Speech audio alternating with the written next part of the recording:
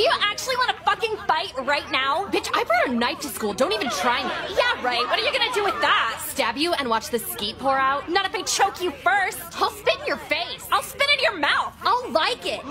What is happening? Shh. Will you spit in mine back? I'll bite your bottom lip and make you fucking bleed. Promise to kiss me after. No. No! Help me, Jesus. Help me. It's not love. It's just lust. It's not love. It's just lust. What the fuck?